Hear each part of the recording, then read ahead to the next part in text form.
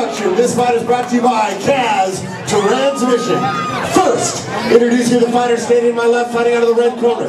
Weighing in at 188 pounds, standing 5 foot 9. This is his debut MMA event. He comes to us from Cedar Springs, Michigan. He's an independent mixed martial artist, the Pitbull, JC Corona.